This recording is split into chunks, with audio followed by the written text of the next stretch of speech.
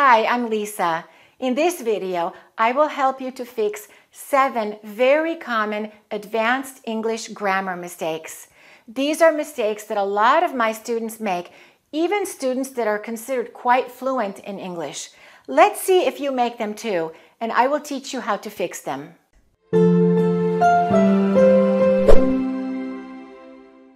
Before I teach you the grammar rules of the seven different topics that I'll be discussing, I'd like you to take a little test, a little grammar test that will measure how many mistakes you're making. Maybe you're not making any of these mistakes, which is fantastic, but I predict even if you are an advanced learner, you're probably making at least one or two of these.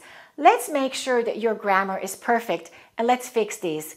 You will take a test you will see 11 different sentences. Each sentence has one grammar mistake, and it's your job to find the mistake and to fix it. So you will see the sentence on the screen, and I want you to take a few seconds and think about what the mistake might be. And then I will give you the correct answer, and we will go through each rule. All right, let's get started. Let's look at sentence number one. I suggested him to buy the other one. Where is the mistake in that one? Number two, I suggest you to do it. Where is the mistake? Number three, I suggest you don't be late anymore. Do you know the mistake? Number four, I'm looking for a two bedrooms apartment. That's one I hear all the time, and that's not correct. Number five, I have a six years old son. Can you see the mistake in that one? Number six, I would appreciate getting some advices from you. Where is the mistake? Number seven, I'm really looking forward to go there. Did you spot the mistake? Number eight, in my country, we are used to eat rice for breakfast.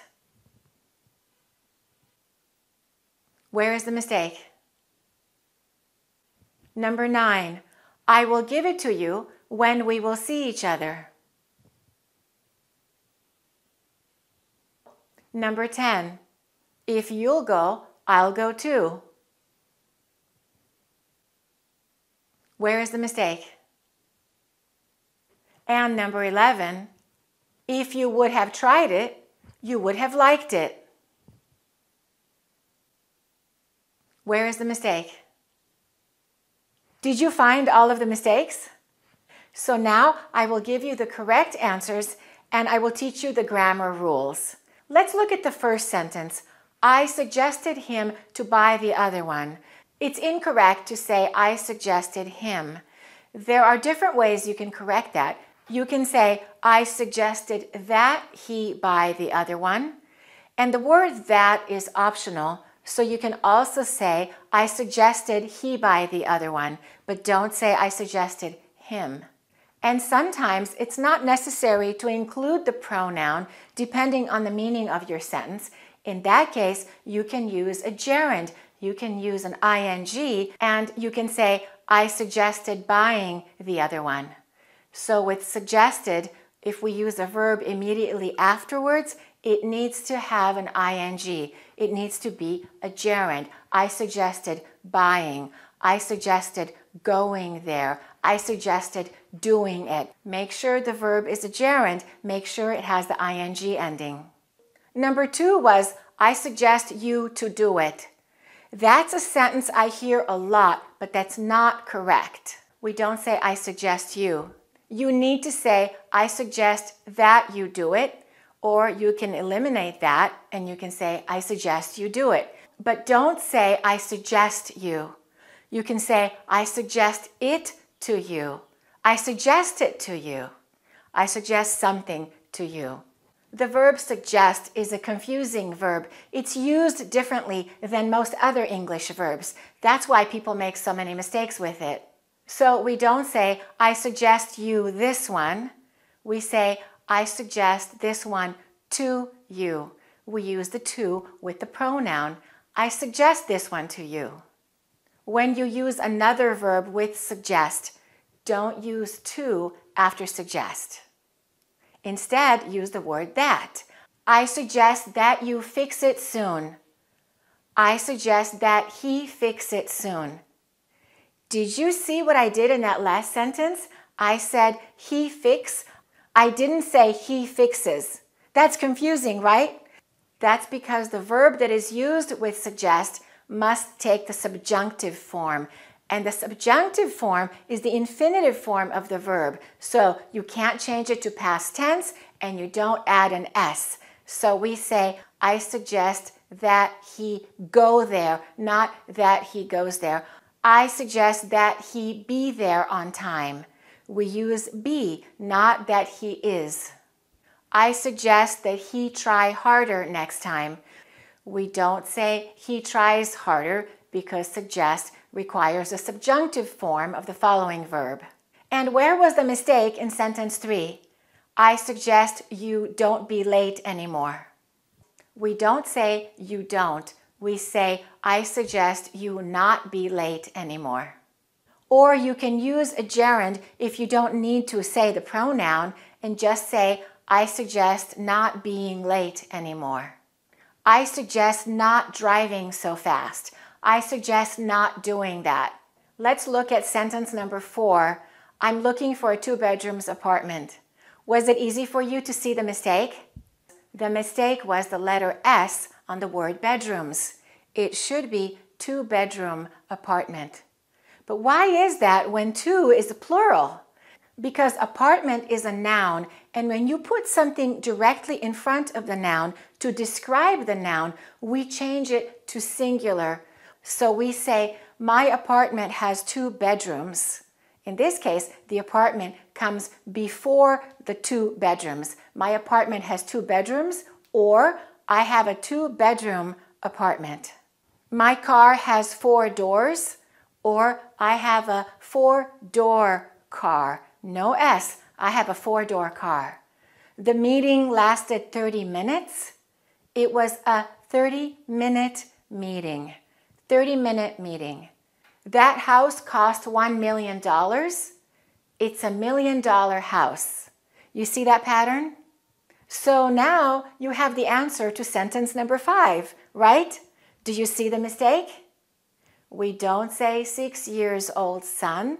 We say six year old son. I have a six year old son. I have a four year old daughter.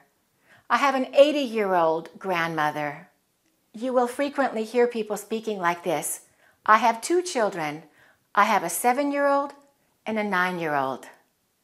Why don't you pause this video now so that you can practice this?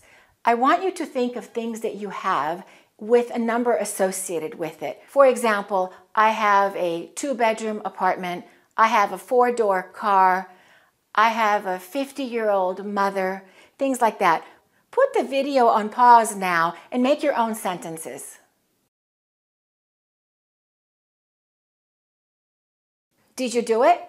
I recommend when you learn something new that you practice right away. Sometimes we forget about it and we don't practice, and then we keep making the same mistake. As soon as you learn something, try to practice it.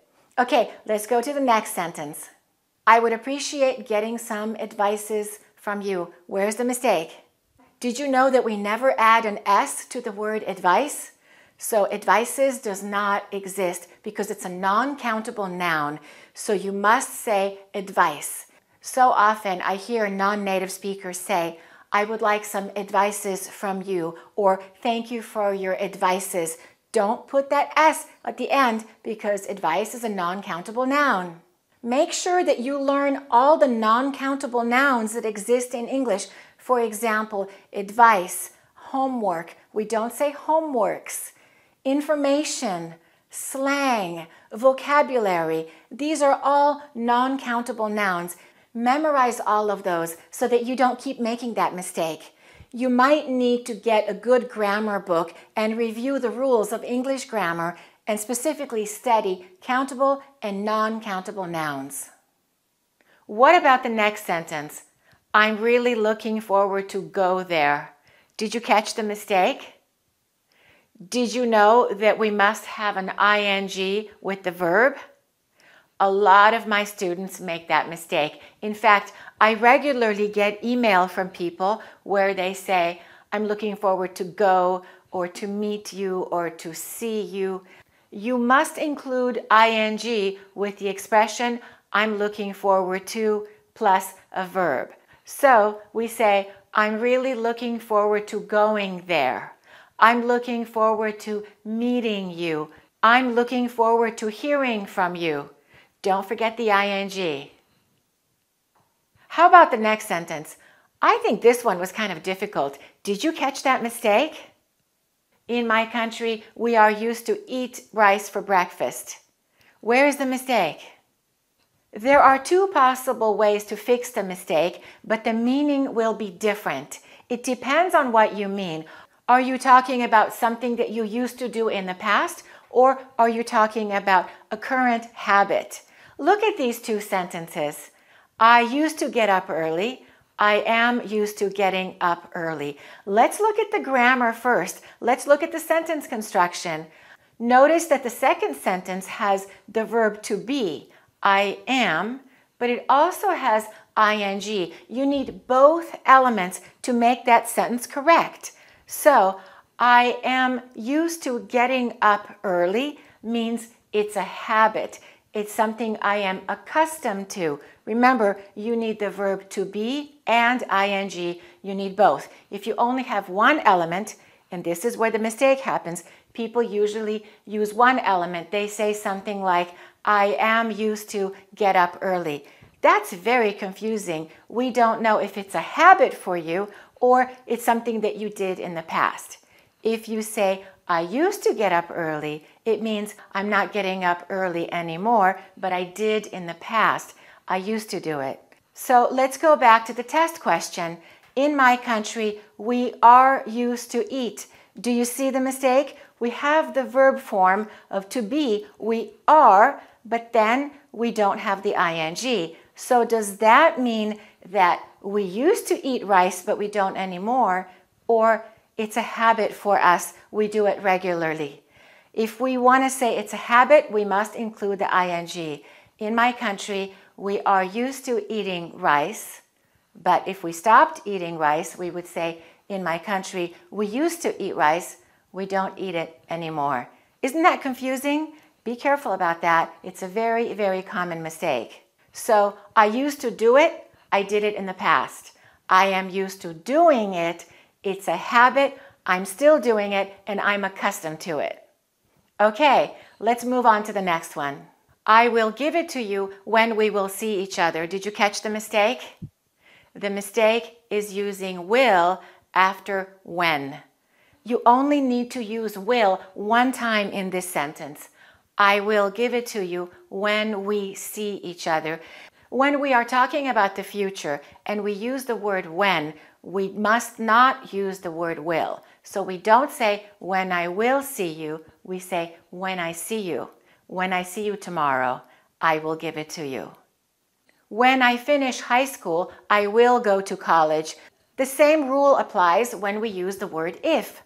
Just like with when, we don't use will with the if clause. So the sentence said, if you'll go, I'll go too. If you'll go is incorrect, we will say, if you go. If you go, I will go too. And we make that into a contraction and we say, if you go, I'll go too. If I have time, I'll call you. Remember, don't use will two times. All right, let's go to the next one. This is the past conditional. And the sentence said, if you would have tried it, you would have liked it. Same thing, we don't use would two times. With the if clause, we don't use would. So instead, we should say, if you had tried it, you would have liked it. We use the past perfect tense with the if clause in the past conditional tense. If I had studied, I would have passed the test. Let's say that naturally.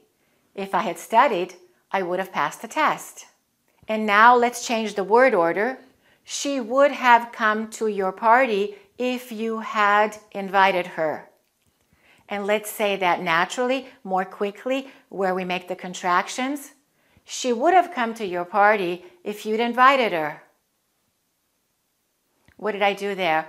I eliminated the H. I didn't say invited her. I said invited her. I didn't say if you had invited. I said if you'd invited. If you'd invited her. Let's say the whole sentence again. She would have come to your party if you'd invited her. How did you do?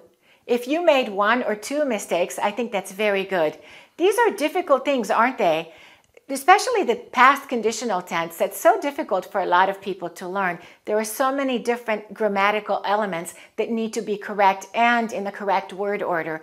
That's very hard for a lot of my students. If you're still struggling with some of these grammar rules, I recommend that you get a good grammar book and you review the rules and you study them in detail. But if you know the rules, maybe when you're speaking, it still doesn't sound correct sometimes. Does that happen to you? That's really common. It happens to a lot of students. They can pass a test and they can get a perfect score on an English test, but when it's time to speak English, the grammar doesn't come out correctly. Why is that? Do you know why that is? because you're not practicing speaking enough. I always say if you have no one to speak English with, speak English with yourself. Talk to yourself out loud. Hear yourself making those sentences. It will go from your ear to your brain. It will be it will become more permanent. That's how you fix those mistakes permanently. In the description below, I'm going to post the names of some grammar books that I strongly recommend that you buy. Grammar books for advanced learners of English. My channel is called Accurate English. It's the same name as my training center that I've had in Los Angeles for over 20 years. Why did I choose the name Accurate English? Because my goal is to help learners of English, advanced learners of English, fix their mistakes and speak accurately. And that means accurate pronunciation, accurate accent, using the correct idioms, phrasal verbs, and speaking English with accurate grammar. All of those things are important. The goal of Accurate English is to help you speak English with confidence, clarity, and accuracy. If you haven't subscribed to my channel yet, please subscribe and click on the notification bell so that you can find out when I release my next video. Thanks for watching and keep practicing your English. To learn all of the rules for a good American accent, you can buy my online video courses at AccurateEnglish.com.